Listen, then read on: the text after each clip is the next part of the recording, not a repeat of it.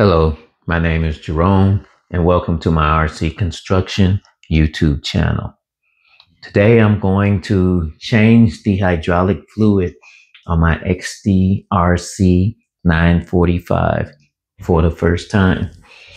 I have run this machine probably 12 hours and I want to change the oil just to see what it looks like. The user manual that came with this says I can run it 50 hours and then I should change it.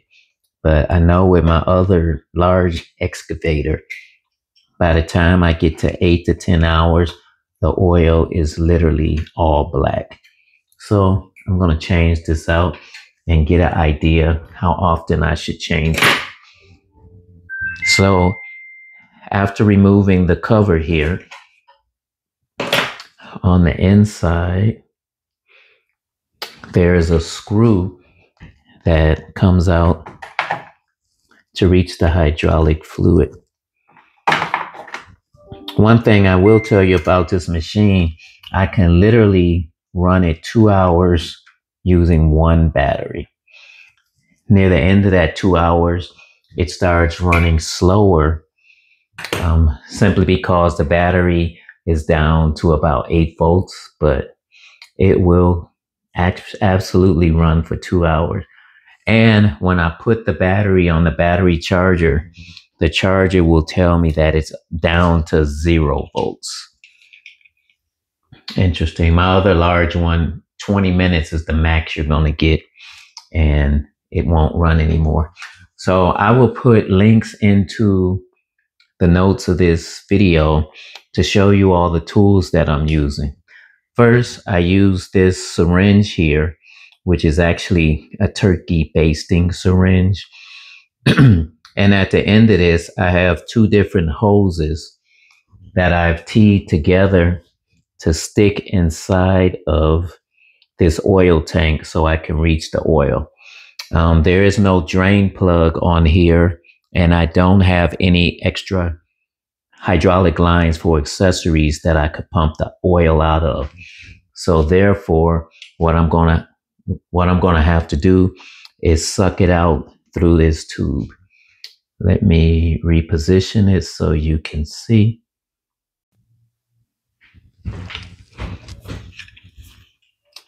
Clip this back in. All right. And let's see if I can suck it out. Yes, it's coming. I put about 70 milliliters of oil in here when I received this new and filled it up.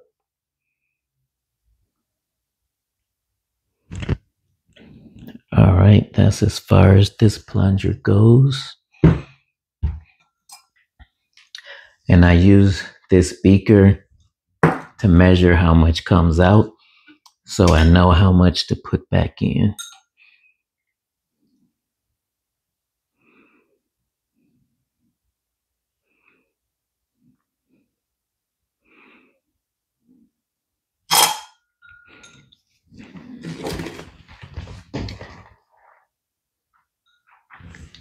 That was about 55 milliliters and it's dirty.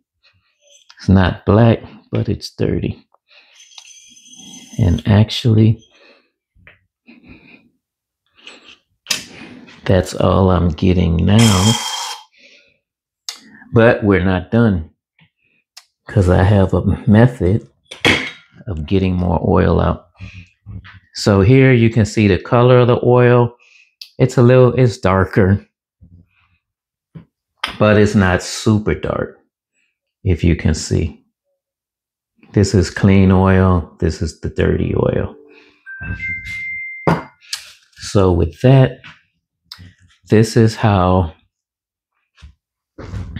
this is how I get more oil out of the different devices. I plug this up.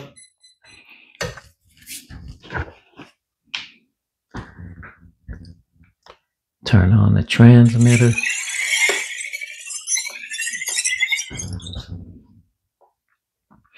and I want to go to functions, assign the hydraulic pump. So the hydraulic pump, I want to connect to this knob VRB. And I can probably just turn it. Nope, I have to tap it. Okay, so now when I turn this knob past 50%, the pump turns on. If I take it from halfway into the negative, when I move the controls, only the servos move, but the pump won't turn on. This allows me to get extra fluid out of the hydraulic cylinders. So if I put this bucket on, I will start with this big arm. Make sure you can see what I'm doing. Okay, so as I move this knob to lift the big arm up and down, because the pump's not moving, it just it will just open the cylinder. And with the cylinder open, I can manually push the fluid out of there. Here we go. So I'm pushing fluid out in this direction. And push fluid in the other direction. And I'll do the same thing on the stick. I'm pushing fluid out of the cylinder manually, the other direction.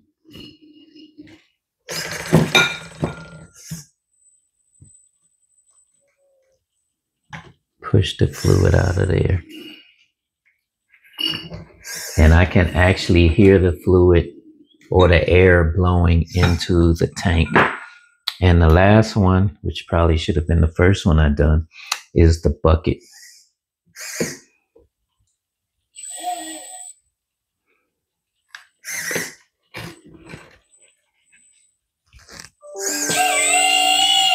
Whoa.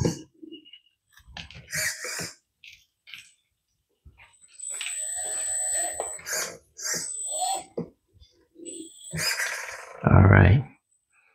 So now I got excess oil out of the cylinders and into the oil tank. So again, I'll stick my hose in and see if I suck up additional oil. Yes.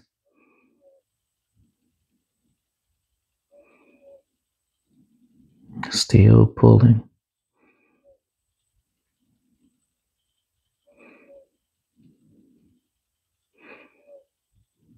So this is how I try to get all the contaminated oil out of my machine. And let's see. We are at, I removed two ounces.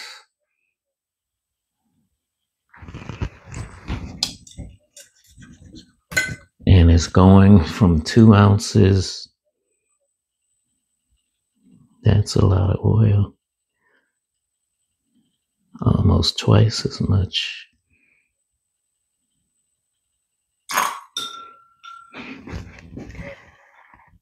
Yeah, there's twice as much. Now there's four ounces of oil in there.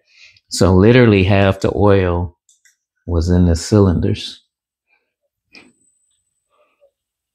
Uh, there's still more coming. All right, I think that's it.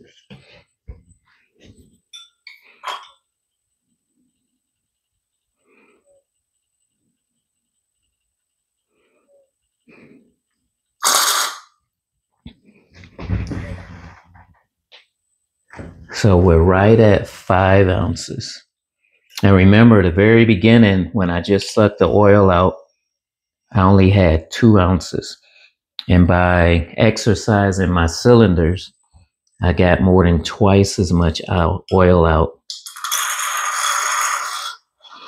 And because I measured it, I know how much to put back in. So I'll remove this extra tube.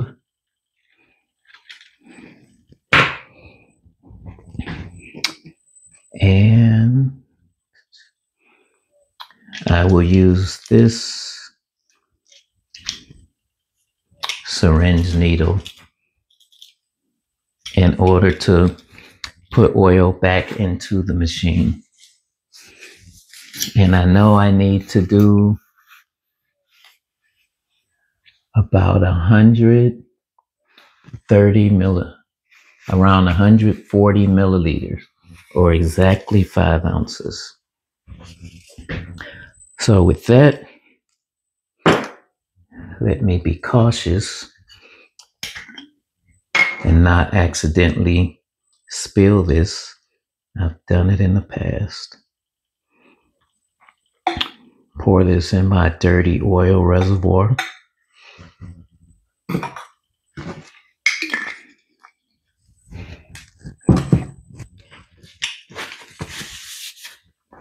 And I have a container here of clean oil. This is 250 milliliters.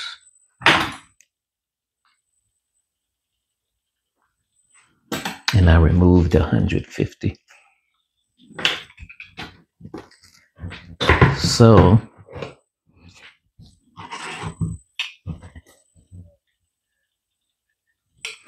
the syringe itself,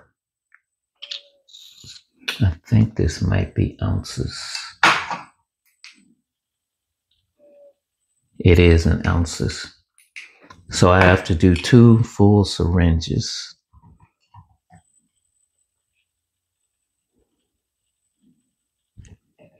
This is one.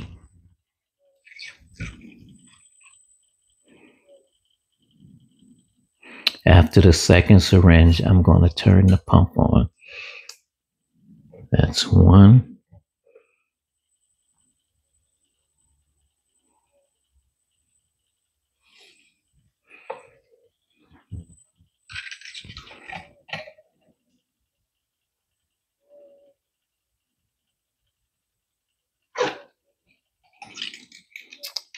That's two syringes of 40 milliliters. And I have to put some more in this bottle because the needle won't reach down far enough to get the lower parts of this bottle.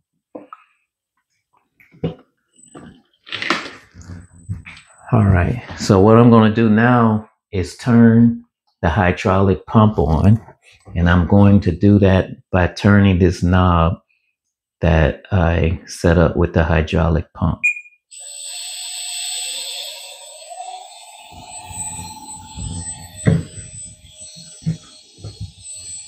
So with this, I should have enough oil in here to start exercising the cylinders.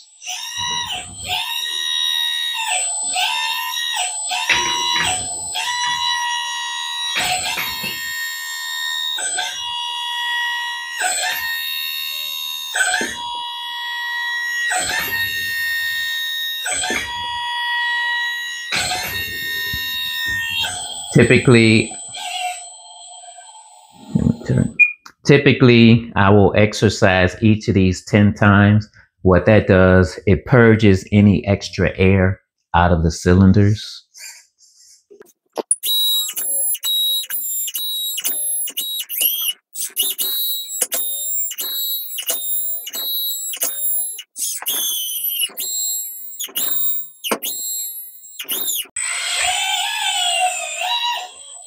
You get the idea.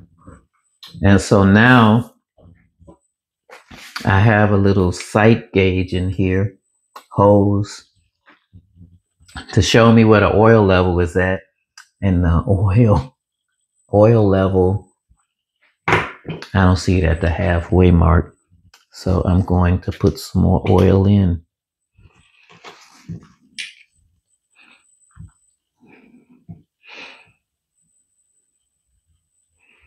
So far, I put close to 40 milliliters in. And with this, I will watch the little fill holes to see the level come up. I can see it starting to come.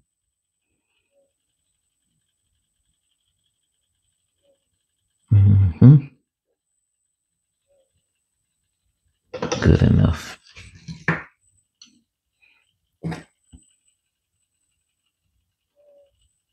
So there's three fourths of an ounce that I didn't put in.